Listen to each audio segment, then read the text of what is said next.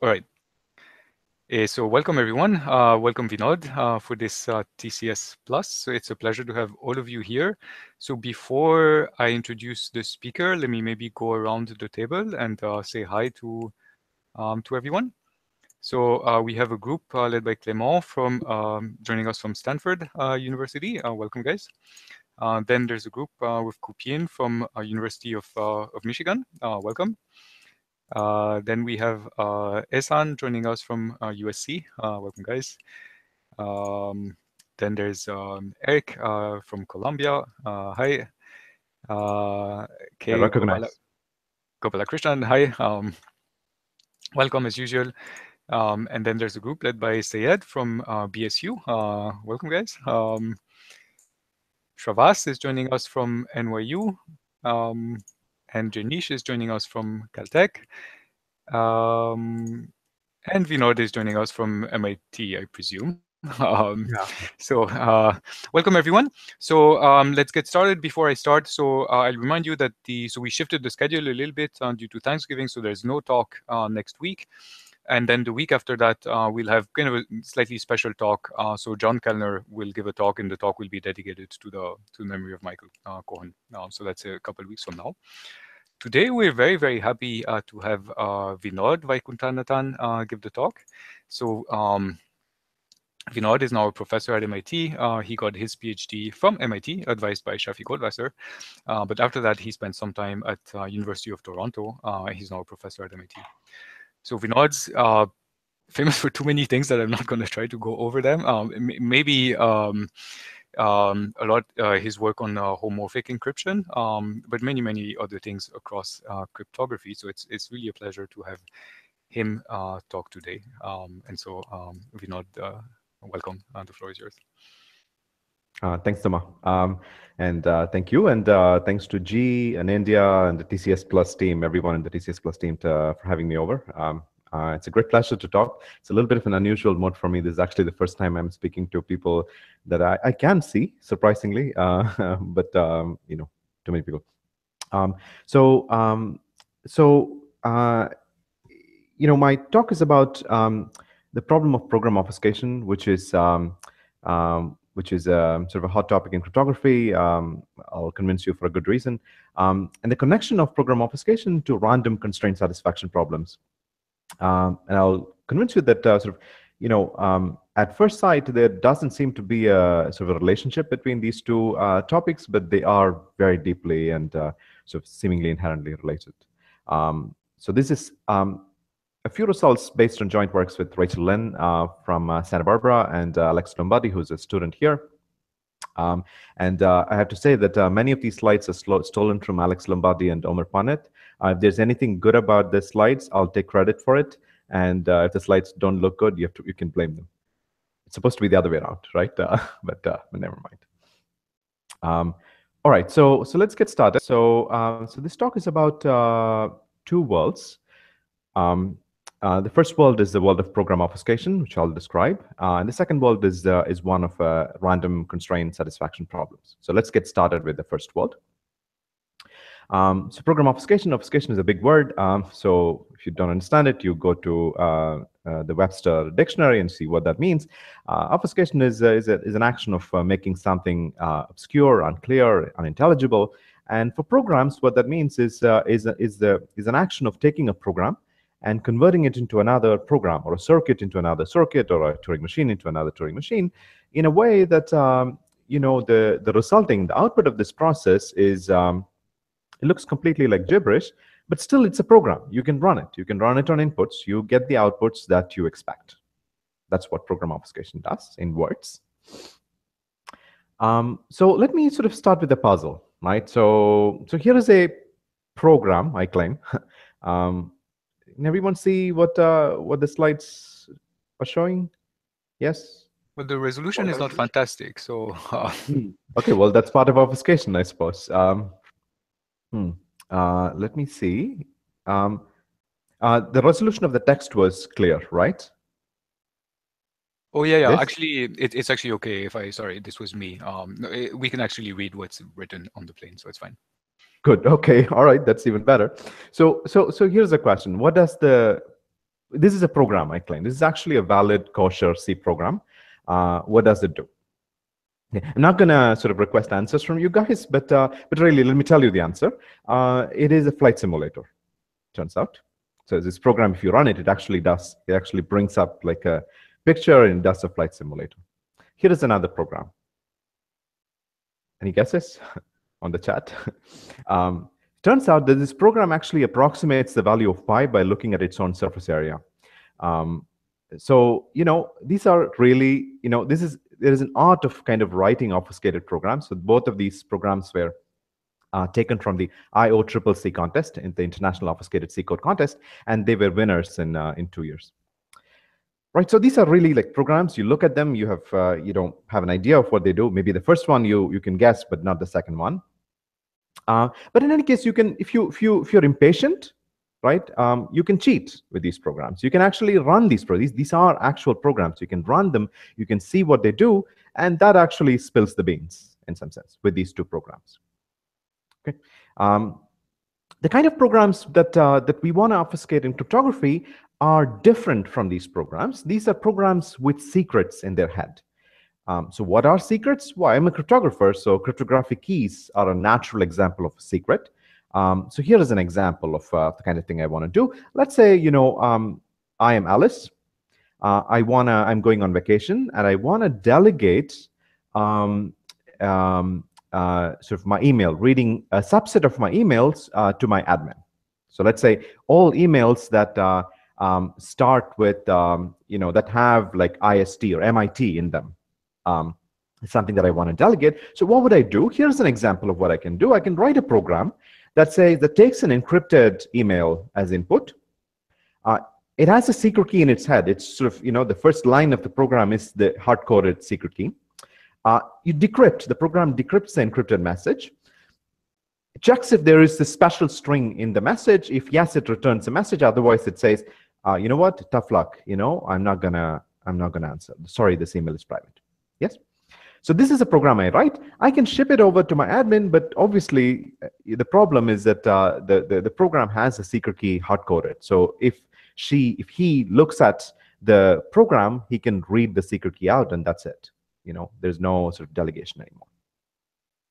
So what I really want to do is I want to obfuscate this program um, send it over to my admin. So now he can run this program on inputs and produce outputs. In other words, he can use this to read all emails that have IST in its uh, as a substring, but he won't be able to do anything more. In particular, he won't be able to recover the secret key by looking at this program. So that's what I want to do. This is an application uh, that I want to realize using program obfuscation.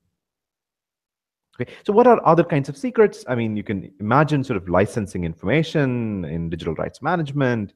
Uh, you can imagine sort of even sort of a devious use of program obfuscation in putting in backdoors, which are sort of undetectable by running the, the, the program, but they get activated on a special input.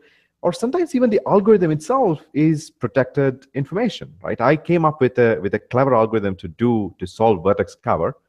Uh, I can dream. Um, and I want to sort of code it up and I want to sell it to you. Yes, I mean, I don't want you to kind of reverse engineer it and make my quadratic time algorithm into a linear time algorithm, right? So that's what I want to do. Um, so this is program obfuscation. Um, what I'm more excited about, um, I'm a theorist, so I'm more excited about sort of applications of obfuscation in cryptography. I mean, what can obfuscation do? Where does obfuscation fit into the cryptographic landscape? So it turns out that obfuscation is is a crypto complete uh, primitive in the sense that you know any cryptographic task that you that you imagined in the past uh, and anything that you will imagine in the next 10 years um, uh, you can probably realize it as an easy corollary of program obfuscation. So i'm just being a little little facetious here but uh, but the power of program obfuscation is such that it can sort of realize a wide variety of cryptographic tasks some which we knew was possible and some which we didn't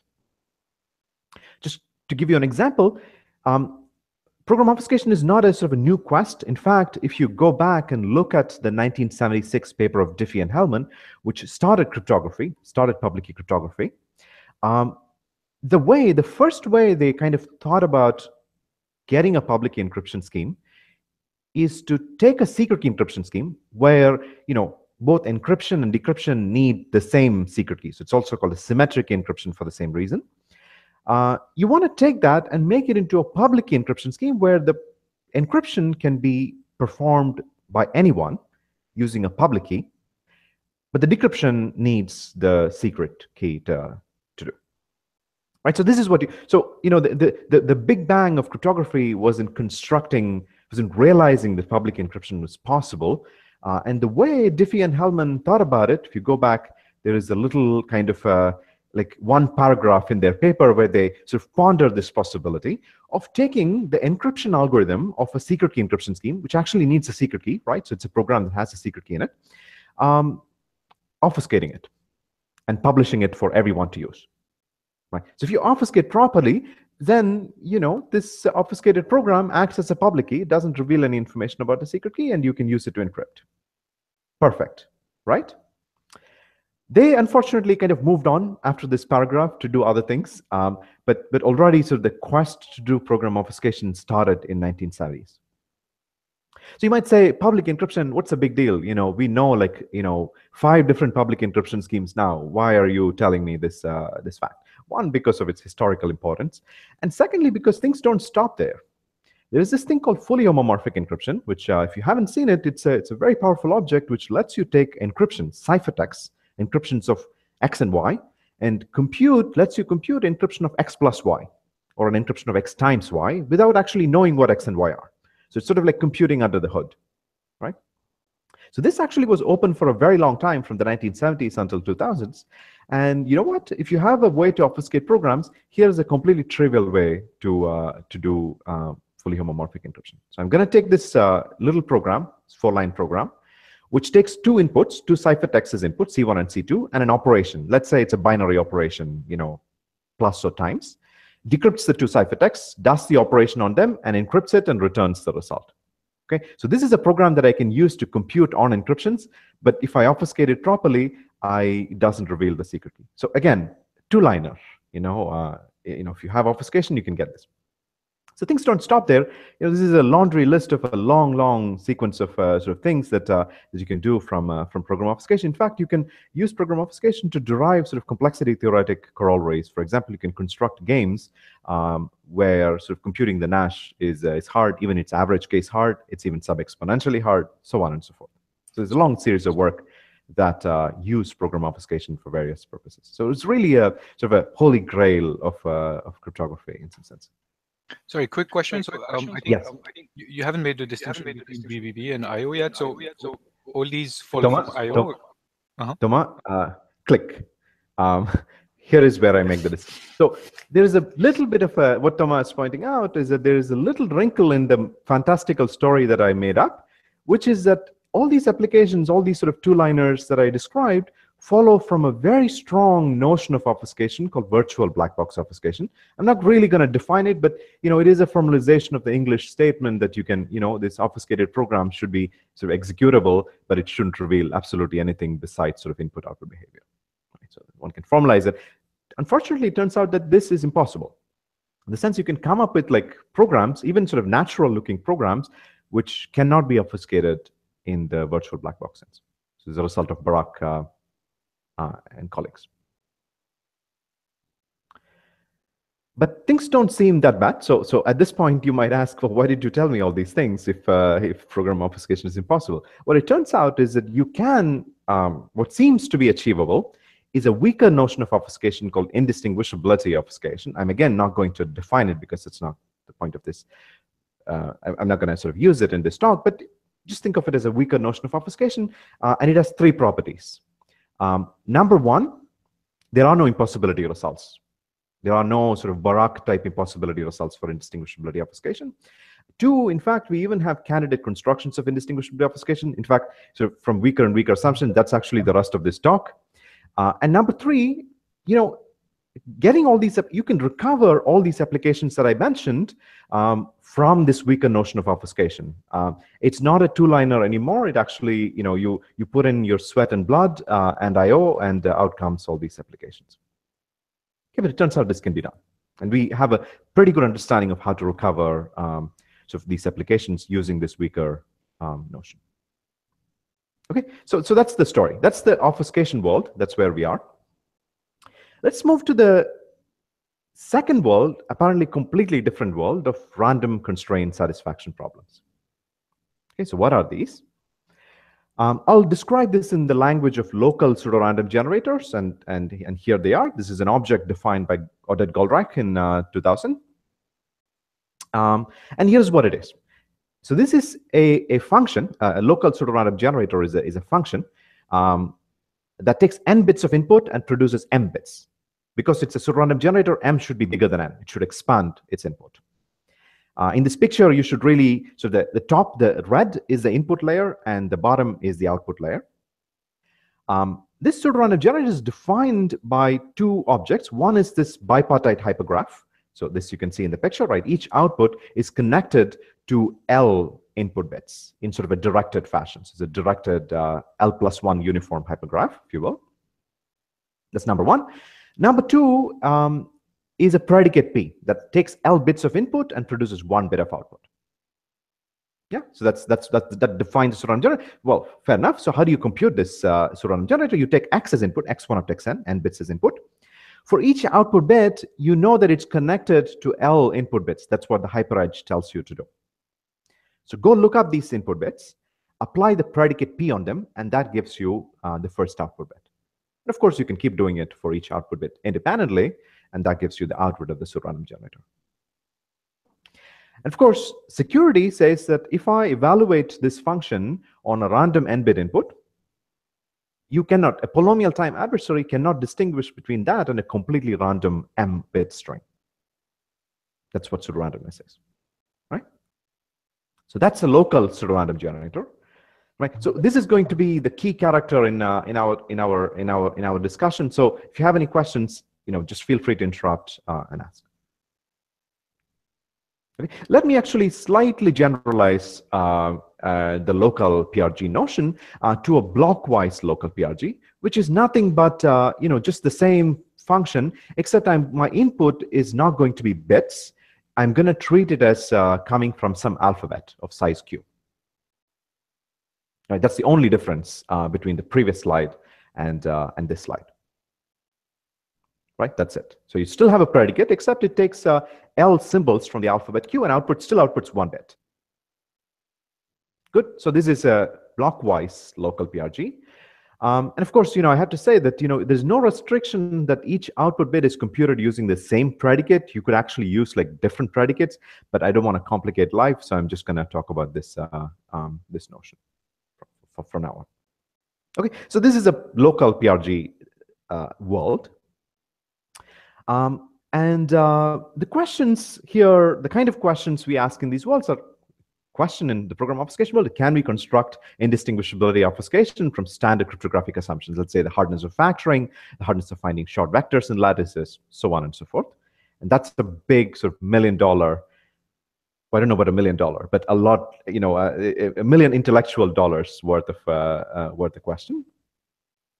Um, well, number two, the kind of questions you ask is, you know, I want to get pseudorandom generators. And in the process, how simple can I make these predicates? Like, can I make these predicates look at like one input bit? Well, that's impossible. Two, three, four, like how small can I actually make this? That's the kind of question you, um, you ask in the CSP world, in the PRG world. These questions turn out to be extremely sort of, you know, inherently sort of deeply connected to each other. Okay, and here is the connection between uh, local PRGs and indistinguishability obfuscation in one slide, um, summarized. Um, there is there's been a chain of sort of uh, uh, sort of long chain of works that uh, that that construct obfuscation. Um, IO is indistinguishability obfuscation um, from weaker and weaker and weaker primitives. So the first in this line of work is uh, is a work um, uh, by and myself and uh, Prabhanjan Ananth and uh, Abhishek Jain, who say that if you have something called functional encryption for NC1 circuits, NC1 is log depth circuits, functional encryption I'll define in a minute, don't worry, but it's an object, it's a cryptographic object. If you have that, we say you can sort of upgrade it somehow to obfuscation. The second line of work, well, we said, well, where does functional encryption for NC1 come from? We don't know. We said if you have functional encryption for NC0, which is constant depth circuits, uh, where in, in, in particular, each output bit depends only on a constant number of input bits. If you have that, then you can upgrade that all the way to NC1.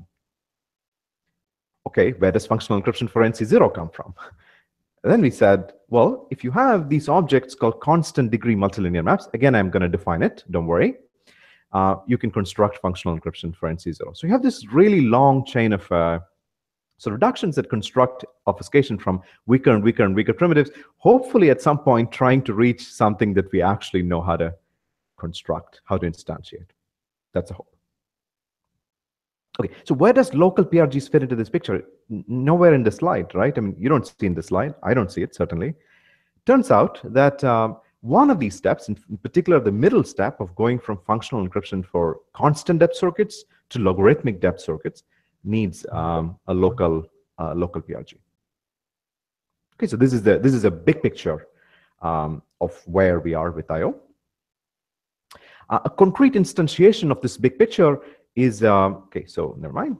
A concrete instantiation of this big picture is a is a theorem of uh, Rachel Lin from Crypto this year, which is already of a result of a you know end of the line in a sequence of works. And what she says is that I can construct an obfuscation scheme assuming three things. One, L linear maps. So these are degree L multilinear maps, which again, I'll define in just a minute once I finish stating the theorem. Uh, number one. Number two, locality L PRGs. See that the L and the L, they are the same L. You know, it's not an accident, right? The locality and the linearity of the multilinear maps match. Yeah, so locality LPRGs with polynomial stretch, like n to the 1 plus epsilon stretch, n bits to n to the 1 plus epsilon bits. And something called learning with errors. But you know what? It is the small kid in the block. You know, we all somewhat somehow believe this assumption, so I'm going to ignore this from now on. So really the A and B are the characters in the game. Okay, so this is a theorem. So now, given this theorem, you can ask, are we done? Do we have the holy grail? I mean, of course, the theorem says there exists an IO scheme. Uh, assuming A and B. So the question is, can I assume A and B? And do A and B exist? All right. And so, so oops, let me tell you. Um, yes. Just the L. Can you say how the L yes. uh, relates to the other parameters? So is L a constant there, or no? It's something that's scaled. L. You should think about it as a constant. You should think yes. about it as a constant. Okay, good. Uh, great question. Um, let me say that constructing um, L linear maps gets harder and harder as L increases. And con constructing locality L PRGs gets easier and easier as L increases. So there is a sort of a tension between these two objects, and uh, and you know um, we want to find the find a point where both exist. Right? Okay. Does that answer? Yeah. What is SXDH? Good, good question. So Clement asks, what is SXDH? Never mind. You know, it's it's a variant of the Diffie-Hellman assumption. The details are unimportant for us. Just it's a Diffie-Hellman assumption. It's a, it's again one of the small kids in the block. Right. Really, the question is, can I actually construct these uh, L linear maps, which I'll define again in a minute. Okay. So again, this is the theorem. This is a theorem. This is a theorem. Now we can ask, what good is this theorem? Can I instantiate it with A and B? Good. Any other questions uh, about the theorem before, before we move on? Good? Okay. Let's see what, uh, what good is this theorem. And before doing that, I want to go back to my previous slide where I showed this chain of reductions and I used, I threw around various terms without actually defining any of them. Uh, let me actually define uh, two of these terms and then we'll make sense of we'll sort of dive deeper into Lin's theorem. Okay, functional encryption. What is functional encryption? You know, I didn't want to sort of write down a complicated cryptographic definition, so I wrote a, you know, uh, this is my approximation of a haiku. Um, so here is a functional encryption. Given an encryption of a string x and secret key for a function f, you should be able to compute f of x, but nothing else. In particular, no other information about X should be revealed. And PS, an important PS, is that the size of the encryption of X shouldn't really blow up. In particular, you shouldn't be able to, like, you shouldn't enumerate all possible functions uh, and uh, encrypt each result in the in the ciphertext. That's kind of cheating. So I want the encryption of X to grow proportional to the bit length of x. So proportional, so grow linearly with the bit length of x. Yeah, so that's functional encryption. Yeah, so is that? I'm yeah, hiding so many, many, many details. F here is public, right? It's not you're not trying to F here is public. About F. I'm not trying to hide F. I am trying to hide X, uh, but I am willing to reveal F of X. You you are the person with the secret key for the function F. Yeah, fair enough. Good. All right. So this is functional encryption. What are these multilinear maps? Well, let's start from one. Okay, uh, what is a one linear map? You know, it's really a group G uh, where, you know, I can compute, given X, I can compute G to the power X. You know, this is exponentiation. G is a generator, given X, I can compute G to the X. And because it's a group, if I multiply G to the X and G to the Y, I'm thinking of this as a multiplicative group, I get G to the power X plus Y. Yeah, that's what, that's what groups do. This is just a group operation. But the Diffie-Hellman assumption says that given g to the x and g to the y, it's hard to compute, it's computationally hard to come up with g to the power x times y. In other words, given g to the x, g to the y, g to the z, and so on and so forth, you can compute linear functions in the exponent. That's why it's one linear. But computing quadratic functions is hard. That's what, uh, that's what this says right? And this can be instantiated. We believe the Diffie-Hellman assumption when you instantiate the group with, uh, uh, you know, Z mod PZ star, you know, the group of numbers mod mod P, right? So this we believe from the 1970s. Well, if we can do one, you should be able to do two, right? Uh, so what is a two linear map? You want not one, but two groups. Um, and I should be able to take g to the x and g to the y, and I, oh, and apply some operation on them. It's not group multiplication anymore. It's some other operation. I should be able to get g to the power xy. I should be able to compute quadratic functions in the exponent, but I should not be able to compute degree three functions. Right? That's bilinear maps. It's two linear maps. And this we know from the work of uh, Antoine Joux and uh, uh, Boneh and uh, Franklin, the Gödel Prize winning work um, from uh, the early 2000s. So I have a question here uh, which is, am I correct in thinking that LWE is not good for constructing I.O.? Um, that's a loaded question. um, LWE is not sufficient at this point for constructing I.O. I do not know a construction of I.O. from LWE, from the hardness of learning with errors alone. And that's a, uh, um, that's a long, open question. And uh, many of us have put money, crowdsourced money towards this. So if you solve it, you'll get 100 bucks from me. Um, and I hope uh, you know I hope uh, this is not um, I hope Amit, Amit is not listening. Amit Sahai is not listening. He offered a hundred bucks for it. I have several of us have offered hundred bucks for the answer to this question. Okay, so good luck. I mean, uh, you know, I, I I I do suggest people sort of think about. It. Right. Okay. Good. So let's let's sort of go back to to our game. So one linear map, we know. Two linear map, we know. Thanks to Dan. Yeah. Hey, if you can do one and two, you should be able to do three, right? Uh, what's the big deal? Again, I want sort of groups, G and G prime, where given G to the X, G to the X, G to the Y, G to the Z, I should be able to compute degree three monomials in the exponent, I should not be able to compute degree four monomials. That's a trilinear map. And this we don't know. This is a long open question, open for 20, 25 years, whether these things actually exist. And we have no clue, really. We uh, No negative, positive, nothing. Okay, so that's multilinear maps for you.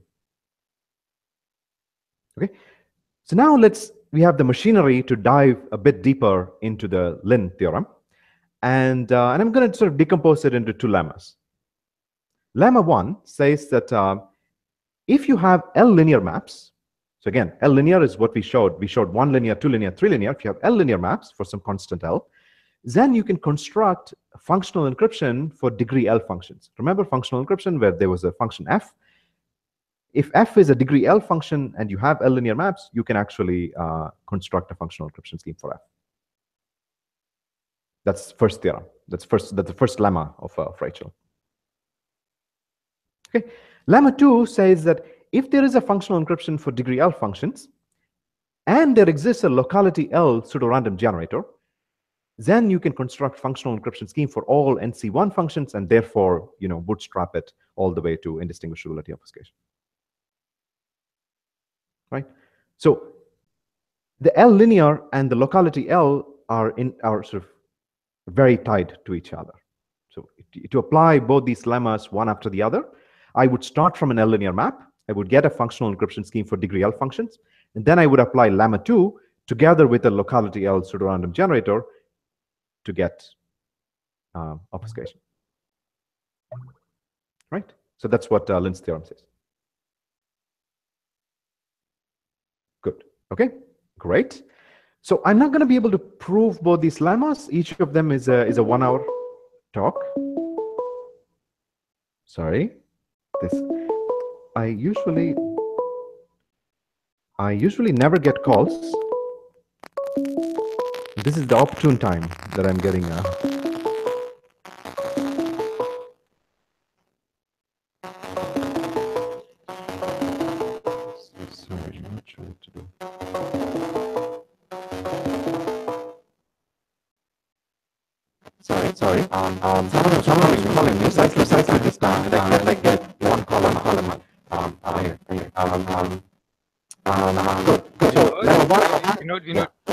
sound got messed up. Um, maybe it's interference from the phone or something. Maybe. Uh, can you hear me now? No? I can hear you, but there's a lot of noise on the line. Um, it's like this for everyone, uh. or? Can anyone sort of uh, write in the it got, window? It, it, got better. It got better. Uh, okay. Okay, I think it's okay now. Sorry. Yeah. Okay, good. So I'm gonna say, um, okay, good. Hope this won't happen. Um, again, um, okay, good. So we have lemma one and lemma two.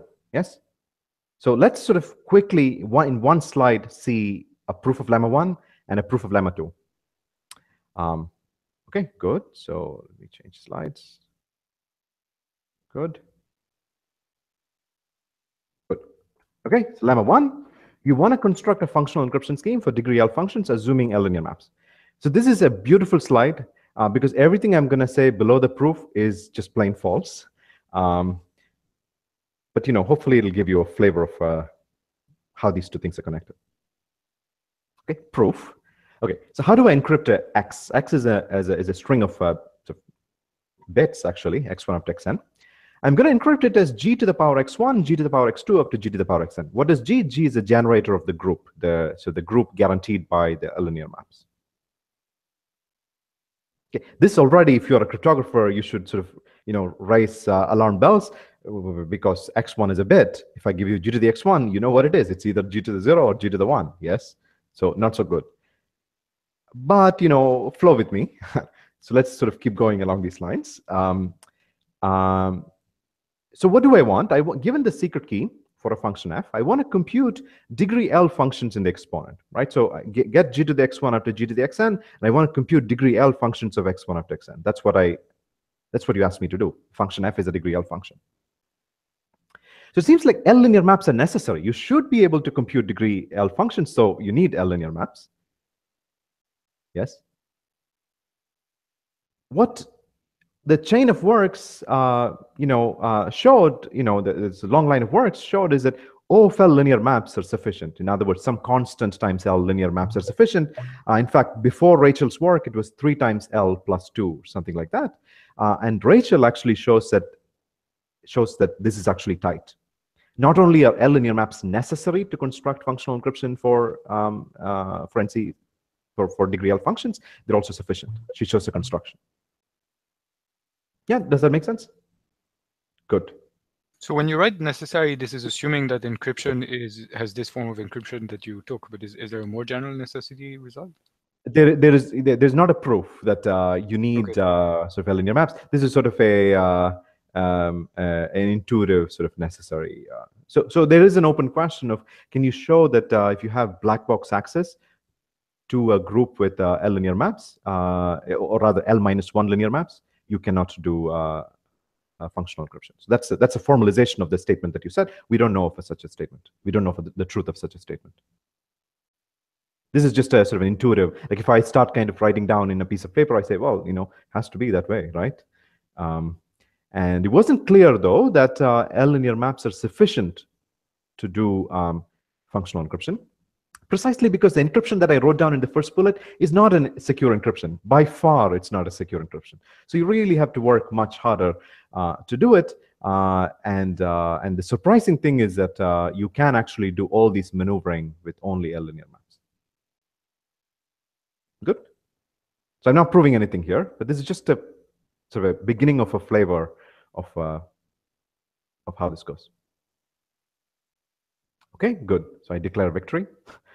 Um, Lemma 2 is what is it? It's a, it's a way to bootstrap functional encryption. It's a way to go from functional encryption for um, NC0. So let's say degree, constant degree functions, actually constant locality functions, um, together with a constant locality PRG, locality LPRG, uh, to functional encryption for NC1 functions, logarithmic depth uh, circuits. Okay, again, this is going to be a proof in quotes.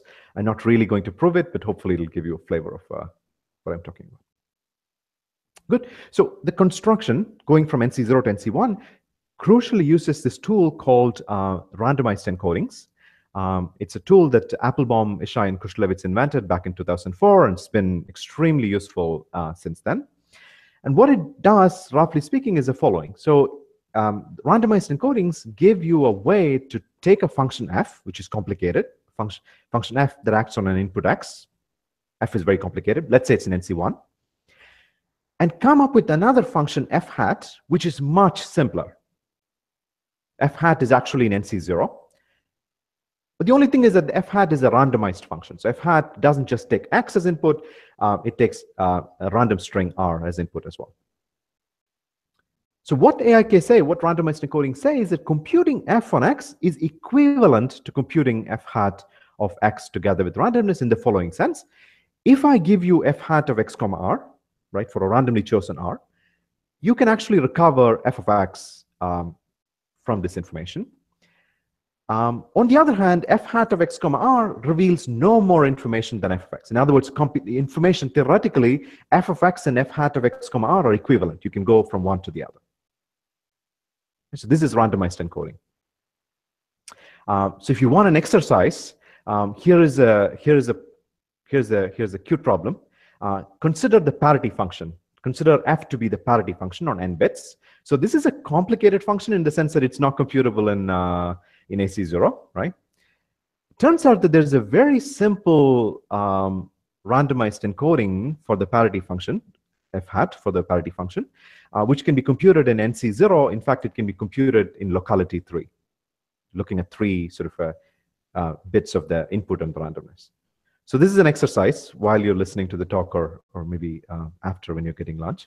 Uh, but this turns out that this randomized encoding you can do for all functions in NC1.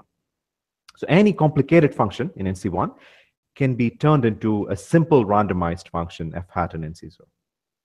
Okay. So this is uh, something that I think everyone should know. It's beyond, you know, so, so this is a notion that is sort of beyond cryptography, and that's what we, that's a notion we'll use here. So okay, it, sorry, yes. the notion is a bit confusing to me. So um, okay, good, good. Yeah. um, I mean, it, the way you said it, it seems like you just put f in NC0. So um, Mm. So no. f hat of x and r is um, let you compute f of x with high probability over r, or um... uh, no? You can even say you can even think of sort of perfect correctness. So the point is that okay. So so let's think about it, right? So f of x. Good. So f is complicated, right? How would I compute f? Either I compute f or I compute f hat of x comma r, which is simple, right? And somehow go from f hat of x comma r to f of x. That is a process that is complicated. So somehow I'm splitting the computation of f into two parts. One, I compute f hat of x comma r, which is very, very simple. And given f hat of x comma r, you can recover f, but that is a complicated process. That is actually an NC1 function. Okay, but, so I'm not compressing. That, that, recovery doesn't involve you needing to know x or anything. Do you need no, no, that's crucially the point, right? If I knew x, I would kind of throw this away and compute f of x myself. So here what I'm saying is that I can compute this sort of intermediate representation very, very quickly. From that intermediate representation alone, without x, you can recover the answer, but that, need, that takes time. That takes NC1 time. And the point is that the intermediate representation does not reveal anything beyond f of x. You cannot learn any other information about x. Good. So Clement asks, is R part of the input? R, I think of it as uh, part of the input. Good. You can only look at O of n bits of R. O of 1 bits of R. Yes, that's right. That's right. So the whole f of f hat considered as a function of x and r is an NC0 function. Right? Sounds magical, but uh, but really, you know, you can do it. You can do it for NC1. You can uh, simpler exercises to try to do this for the parity function. Right? Toma, good. Yes, thanks. All right, so this is a magical object that uh, that we are going to use. So you know, look, I mean, you know, I have a functional encryption for NC0, right? That's the only thing. The only thing I can use it to, is to compute NC0 functions. How do I compute NC1 functions? Well, I say instead of encrypting x, right, uh, in in anticipation of computing uh, an NC1 function, encrypt x comma r. R is just a truly random sequence of bits. So now instead of generating a secret key for f, you generate a secret key for f hat using the NC0 functional encryption. Put together, you can learn f hat of x comma r. And once you learn that, you can actually run an NC1 process to recover f of x. And by the way, this whole process did not reveal anything more than f of x. That's a randomized encoding guarantee. Right? So you somehow sort of magically reduce the computation of a complicated function or functional encryption for a complicated function to functional encryption for a very simple function, NC0. So that's what we're going to do, indeed. So where does local PRG come into picture? So so far, so far, so good, right? I mean, uh, you know, no local, no PRGs at all.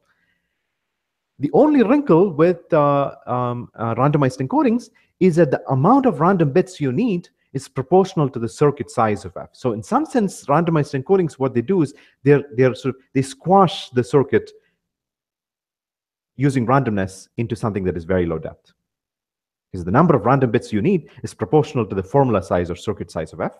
And in particular, it could be much more than the length of the input. And remember, you know, our definition of functional encryption, we wanted the size of the encryption of x to be proportional to the bit length of x and doesn't not to depend on anything else. Yeah, so that that's that doesn't work. Yeah.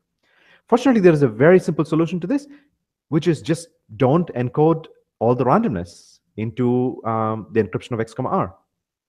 Instead, encrypt X together with a seed of a pseudorandom generator, something that is small. And the functional encryption first, sort of the function that you're computing first takes this seed, expands it into R, and then computes F hat on X together with this R. Right?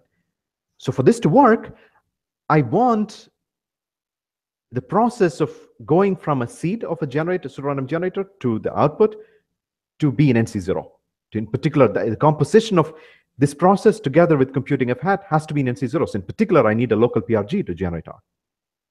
That's where local PRGs come into picture. Right? Does that make sense? More or less? Good. Okay, so this is this is lemma one, this is lemma two right? And now we can go back to Lin's theorem and ask, you know, are we done? You know, can we sort of instantiate, um, you know, both A and B somehow and um, and uh, and be done?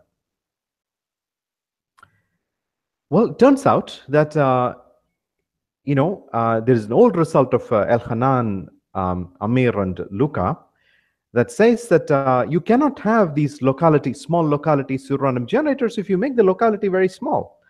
You cannot Certainly, you cannot do locality 2, which is actually an exercise. Locality 3 is a harder exercise. Locality 4 is a slightly more harder exercise. Uh, but you cannot do that. So the best you can get is locality 5 pseudorandom generators.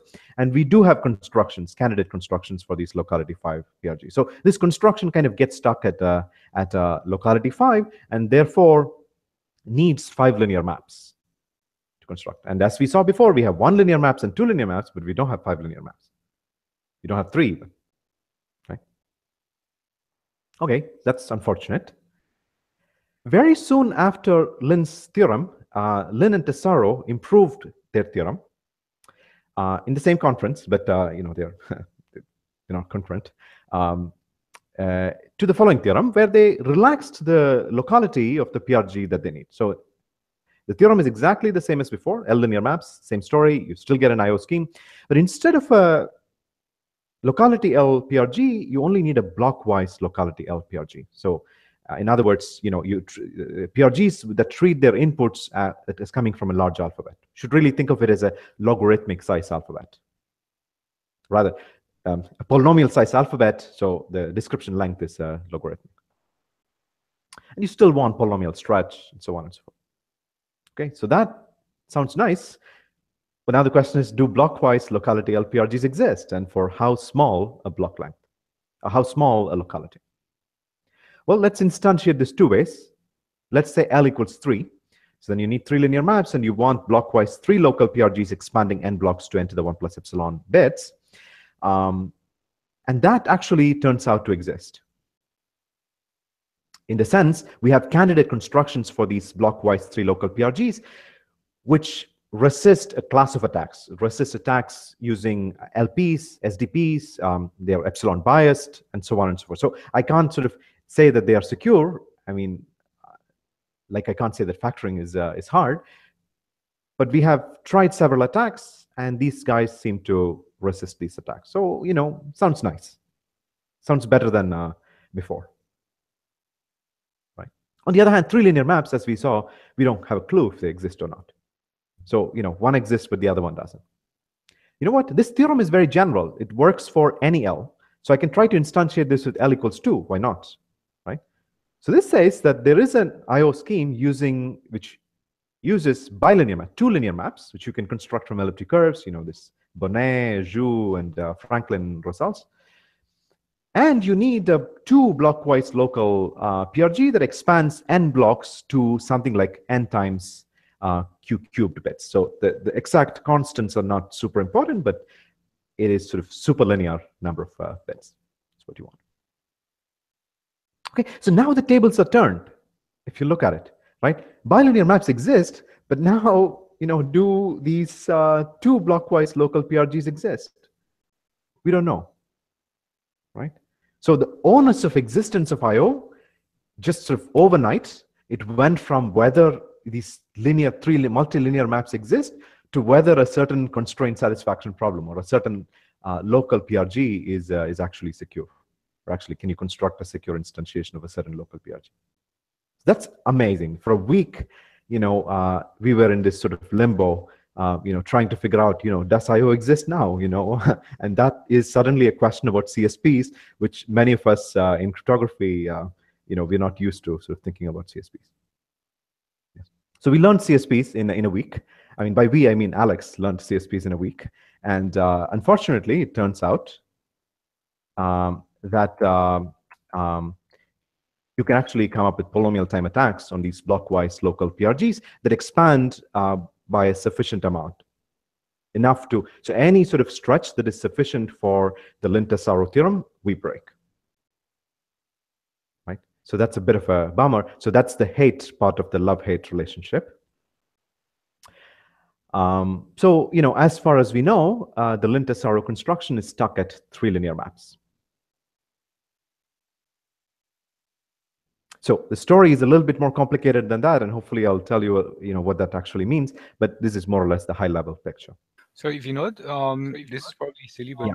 can you clarify the relationship clarify? between uh, being a PRG and this? You're talking about it as a random CSP. I, I think I know what a random CSP is, but Good. Um, um, Good. can you say Excellent. one sentence?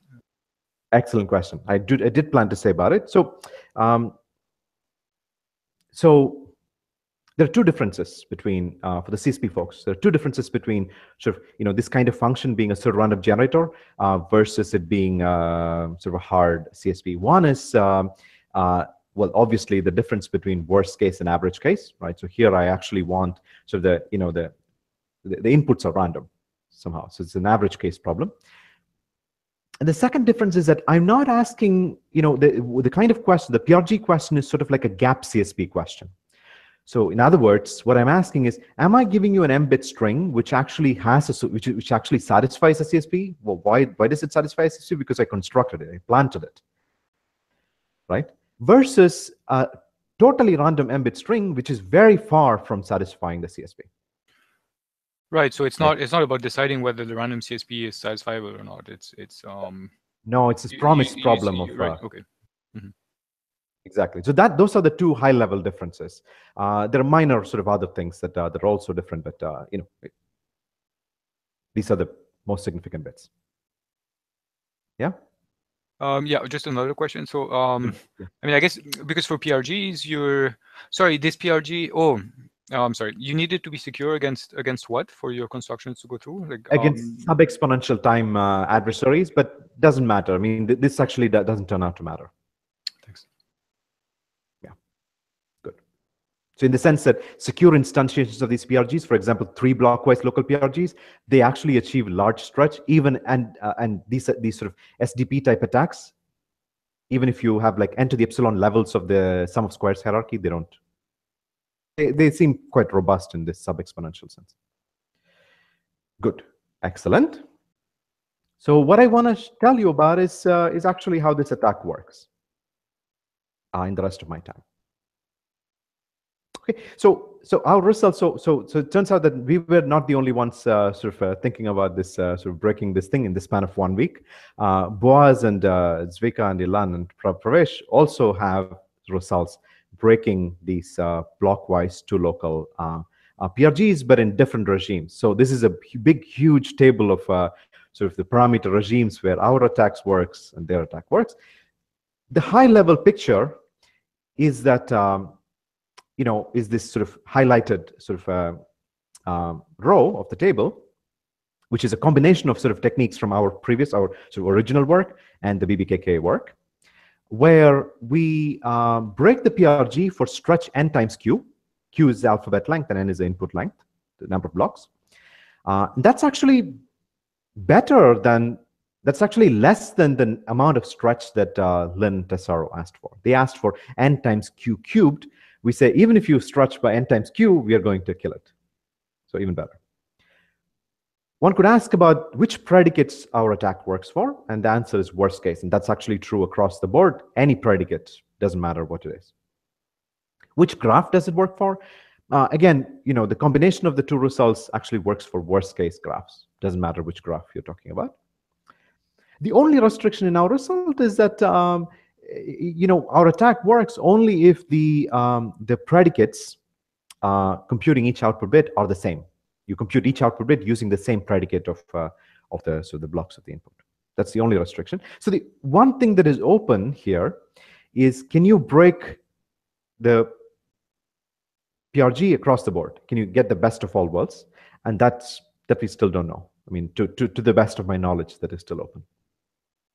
Okay, but my point is that it doesn't really matter for the Lin Tessaro construction because that is already broken by the highlighted uh, highlighted row. Yeah, does that make sense?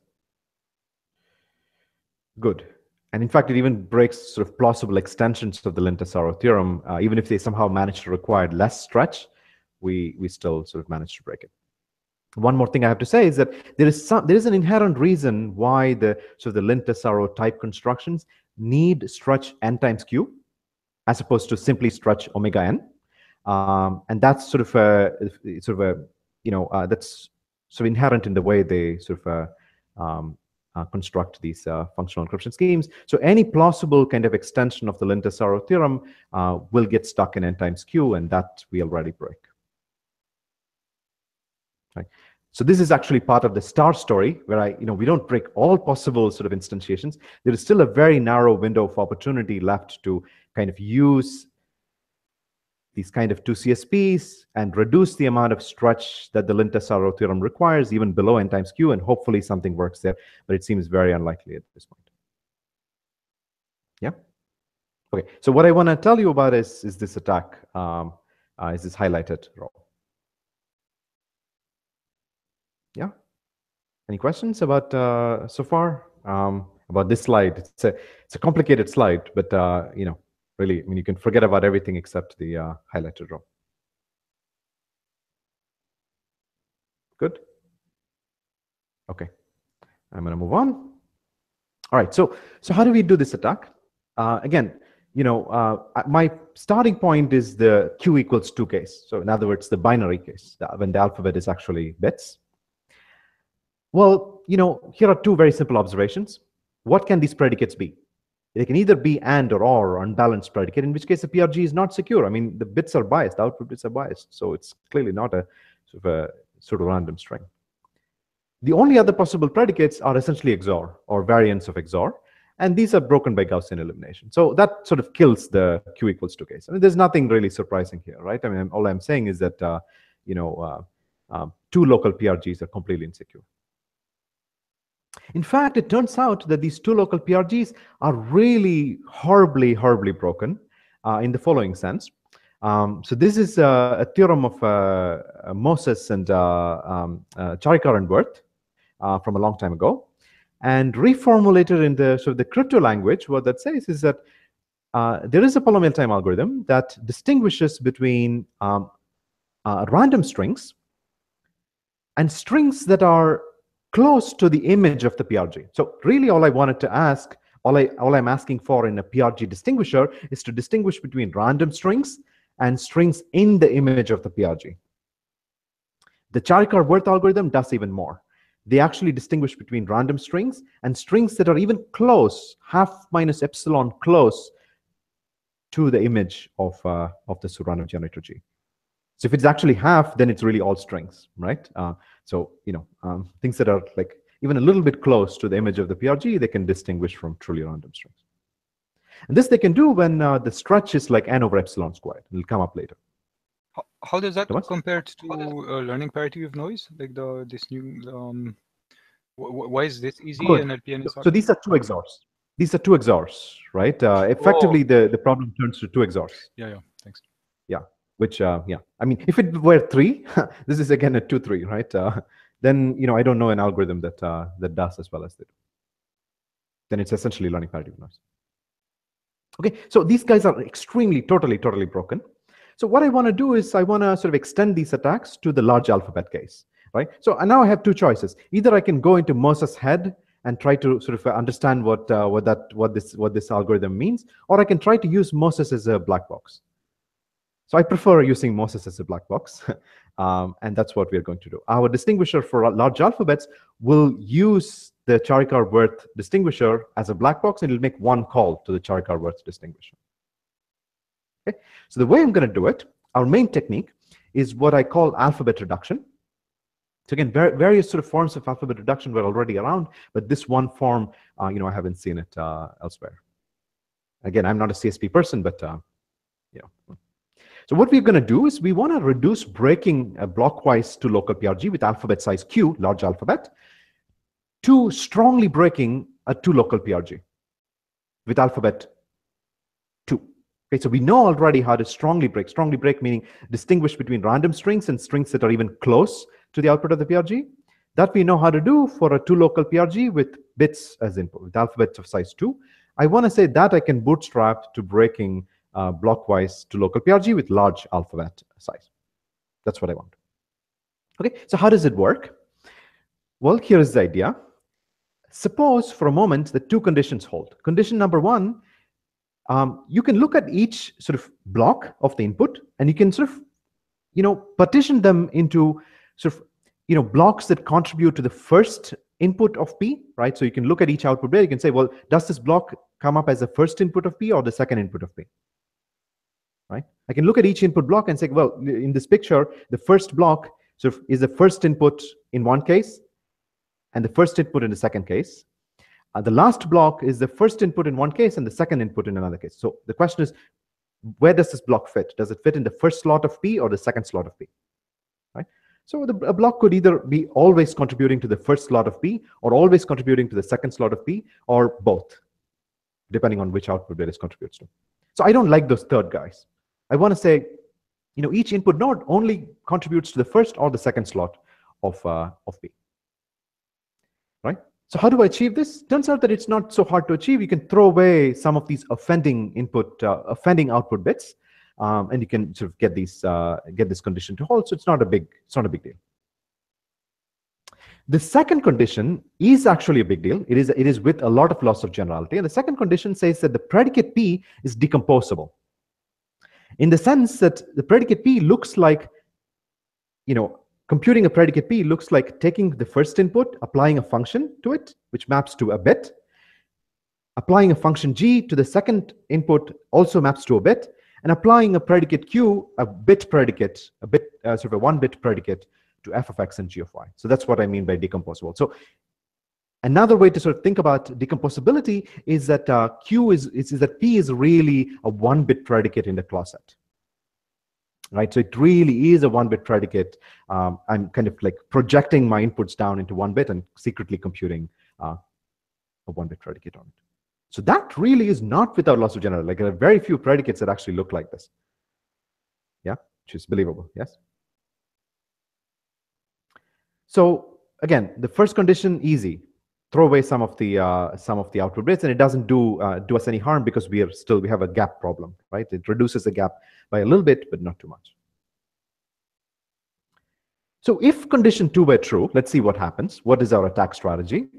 Um, we're going to think about the PRG sort of think about the mental experiment where computing the PRG goes in two steps. One, I take the input X and I map it into bits by applying either F or G, depending on whether the block contributes to the first slot of P or the second slot of P.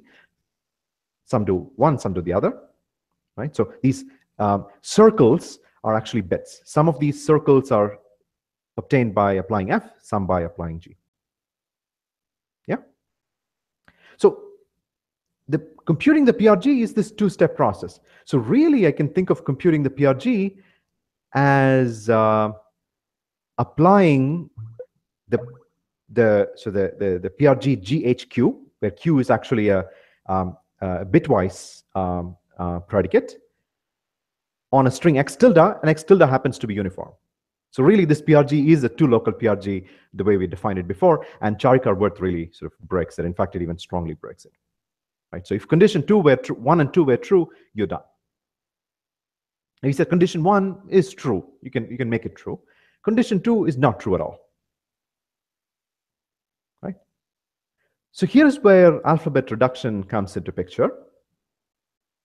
So it turns out, so the main lemma that uh, that we have I'll state the lemma and I'll give the intuition behind it. It turns out that every predicate P is close to another predicate P prime, which is actually decomposable. So again, I said, you know, not every predicate is decomposable, but every predicate is somewhat close to another predicate which is decomposable. And how close? Half plus 1 over square root q close, turns out. This is actually optimal. Right? So that actually lets us uh, go back to our sort of attack and actually make it work. So here is a, so how do we sort of show this, uh, you know, uh, this decomposability? Um, you know, it's really, turns out that this theorem, this, uh, this main lemma um, is a refinement of uh, uh, a lower bound result from the two source extractor literature. And really this, this lemma is a, is a, is a strange way to say that every two-source extractor um, has a certain error. In other words, every two-source extractor on n bits and n bits, even with min entropy n minus 1 on both sides, needs to have error at least 2 to the minus n over 2, rather square root of 2 to the minus n. And that's, you know, you know, if you look at it the right way, and if you sort of improve the parameters of this uh, sort of two-source extractor lower bound, you basically get this, uh, uh, get the main lemma. Does that make sense? So in, in other words, what I want to do is I want to think about the predicate as a table. Uh, X, the X indexes the rows of the table and Y indexes the columns of the table, right? So that's P of X, Y. And what I want to say is that you can partition this uh, table into, uh, well, four parts. The first thing I do is I identify a subcube, uh, half by half, Q over 2 by Q over 2 subcube, that has um, a non-trivial bias where if you look at the so the zeros and ones inside, the whole thing is biased towards one or zero for that matter uh, by half plus one over square root q. So there's non-trivial bias um, to either zero or one. And it turns out that from there you can actually sort of fill in the rest of the so the you know you can put you can complete compute a full partition um, where um, you know um, two of these uh, uh, which has a sort of bias as I claimed, essentially. So given this partition, uh, given this sort of kind of partition, what does Q, what does P prime look like? Um, what does Q and F look like? F is a function that uh, sort of takes, in, takes an input X and it outputs 0 or 1 depending on which row, which set of rows x indexes. So in this picture, if x is in the first three rows, f outputs 1. It says, well, you're in the blue part of the, so the rows. Um, and uh, um, if x is in the second half of the rows, the output 0. Same with y. Right? And now Q only needs to know which set of rows I fall into to decide whether the output is 0 or 1. Right? I'm hiding a few details under the rug, but really sort of what, what, what this is, is sort of identifying uh, a subcube, uh, a submatrix of, uh, of this sort of predicate matrix. This is, this is actually the truth table of the predicate which has significant bias. So the trivial thing to do, the first thing you would think of if I, well, maybe you do better, but the first thing I would think of if I gave it to myself as an exercise is to come up with uh, a half plus one over q bias. But that's actually trivial. Um, you can actually much, do much better than that. You can actually do half plus one over square root q. That's really what we need. Okay, so, so this is the main lemma. Not hard to prove. In fact, it is really sort of a, a two-source extractor lower bound and sort of a in uh, couched in uh, another form. Uh, and given this lemma, how does our attack work? Well, we're given predicate P, graph H for the pseudorandom generator and a target Z, which is either pseudorandom or random. I'm going to compute, take this predicate P and H, and I'm going to compute Q, F, and G, which is basically the decomposition of P. Uh, and this I can compute, it turns out, in polynomial time, polynomial in Q time. Now I'm going to call the Charikar-Wirth distinguisher uh, for Q with predicate Q, which is a one-bit predicate, and with error parameter 1 over square root Q. So what happens is that if Z is actually uniformly random, I am actually feeding a uniformly random string to the Charikar-Wirth distinguisher. If Z is a random output of GHP, it's actually close to a random output of GHP prime, uh, which is basically the output of GHQ right? And that the closeness is precisely the one half plus one over um, square root q, right? So putting everything together, our epsilon is really like how much more than half your bias, and that's one over square root q. If you sort of plug in n over epsilon squared becomes uh, n times q, and that's that's how we get the get the attack. Yeah. Okay, good. All right. So too bad, but uh, but one can ask, where does that leave us? I mean, are, is all hope lost? You know, do we have IO? Uh, and as someone asked, do we have IO from LWE? You know, uh, good. So I think I missed a question from Clement.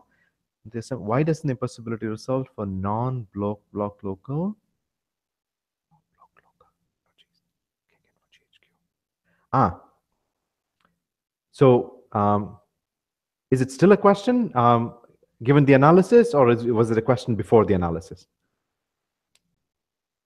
Good. So oh, yeah, it was a question before before the analysis. You know the assumption that it's decomposable. Yes. Why can't you uh, use the previous thing that says that for like the non-block uh, PRGs, uh, you can't achieve that, knowing that now you just have basically binary inputs to GHQ to rule out the ah, existence of GHQ. Yes, yes. So, so, so, so so you're saying we, uh, you were saying we can use the binary distinguisher to rule out this guy. Yes, I mean if I, if I understand right. Or you're asking how how the how can we roll it out? Good. So so really the key point here is the following. Um, I want to distinguish between random and something in the image of GHP, right? I claim that something in the image of GHP is actually not in the image of GHQ, not necessarily, but it's close to the image of GHQ. And the close actually is exactly uh, the sort of the uh, closeness between P and P prime. You know, P prime is the sort of the predicate that was decomposable, and it was approximately, it was close to P. And that translates uh, over here. This needs a little bit of work, but um, not nothing more than Chernoff bounds uh, at this point.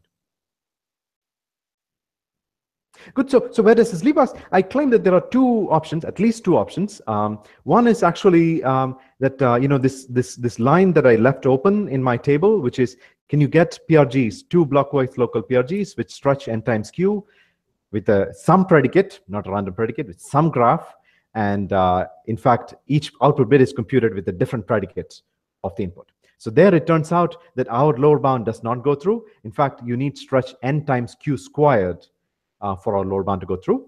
So what can be done potentially is if you can show a candidate predicate with these parameters, and Rachel and Stefano uh, get their acts together and improve their theorem from n times requiring stretch n times q cubed to requiring stretch only n times q. So if both of these events happen, then you have uh, a candidate construction of uh, indistinguishability obfuscation.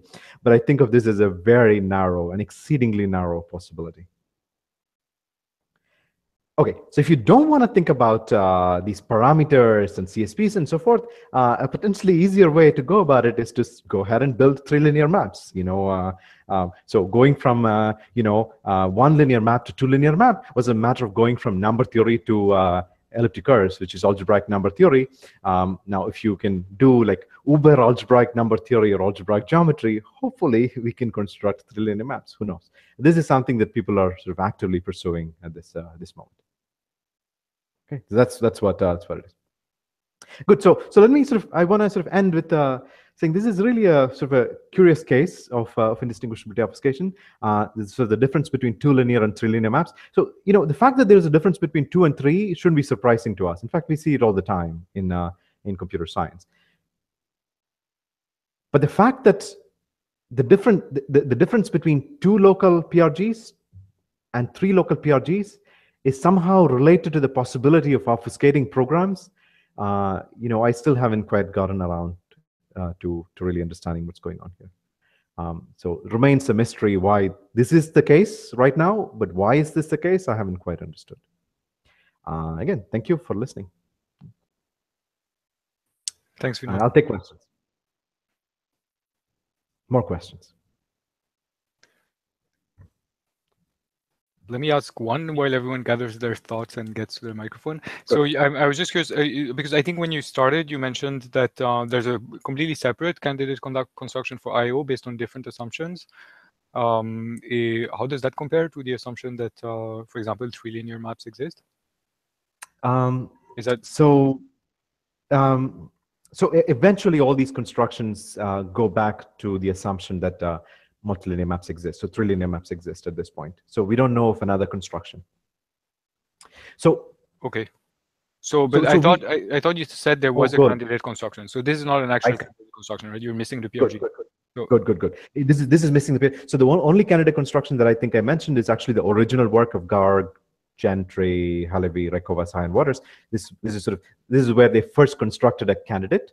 Uh, this was all actually based on multilinear maps of some form so here's the start. Here's the confounding status of uh, of uh, of this candidate. Um, uh, you can prove the security of these candidates from certain multilinear maps, or polynomial degree multilinear maps, or versions of it. Um, and you can instantiate these polynomial degree multilinear maps using sort of lattices in some way. So, you know, you have an approximate sort of multilinear map that uh, you can instantiate from lattices. Unfortunately, the DDH assumption on these approximate multilinear maps is false. It's just plain false. You can break it. But the obfuscation candidate itself remains unbroken. So, so, so these, these, these multilinear maps are necessary to construct obfuscation, um, right? Um, and they're broken. That doesn't mean anything about the obfuscation construction, which is not broken at this point. Um, so very, uh, is it not broken? Because it's a complicated construction and people haven't quite gotten around to understand it's an obfuscated construction and uh, people haven't gotten around to understanding it? Or is there really something going on in the construction beyond multilinear maps? Is, is it deriving its security from some other source? Who knows at this point? Uh, you know i this is another confounding kind of state of affairs.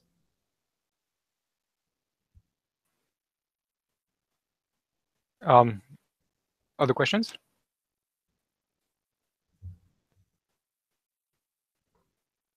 Okay, so, no so I should say that. Okay, go ahead. Yeah. So I should say the so the, the one thing that actually comes to mind that uh, sort of you know as an analogy is uh, is UGC, right? I mean, uh, you know, assuming UGC, you can derive sort of fascinating consequences. Uh, sometimes you can actually remove the UGC assumption and you can get sort of real NP hardness, which is again something that we have done in the IO setting. We constructed things from assuming IO and we have de-IOized these constructions. So we have actually made these constructions work from sort of um, nicer assumptions. Um, but uh, you know, as important as UGC is to sort of uh, theoretical computer science, IO is in fact, I would say even more important to cryptography. So I think you know we, it, it, it behooves us to kind of like you know this is my pitch, this is my spiel to sort of recruit people to think about uh, I/O, its applications, construction, CSPs, whatever. So in the same direction, uh, you mentioned earlier you had there was some PRG construction and you had sort of some evidence that would be secure against SDP yes. attacks and things like. Yes. So is it possible to have um, a formal treatment of uh, um, you know, an IO scheme that would be secure against, you know, not polynomial or quasi-polynomial time. Oh, I see. All sort of, but that, I mean, that would have to encompass also Gaussian elimination, right? Because you wouldn't want to say my crypto scheme is secure. Yeah. If you yeah, know yeah, yeah. So, um, yeah, that's right. That's right. So, so, so somehow you can, if you, you treat both attacks kind of uh, case by case, I suppose, right? I mean, one by one. Gaussian elimination, you prove security against Gaussian elimination attacks, linear attacks. Um, and then you prove security against these SDP type attacks potentially. Um, the so the barrier is somehow that um, you know the reductions from uh, breaking IO to breaking these multilinear maps uh, and and the PRGs. You know maybe they don't fit within the sort of the uh, the SDP uh, uh, framework, and then one has to really sort of think about it. But it's a possibility. Right. Certainly. Thanks. So if there's no more questions, um, I'll thank uh, Vinod again uh, for his talk. Thanks, Vinod. Uh, remind you all that in a couple of weeks, we'll have uh, Jon Kelner uh, from MIT give the talk.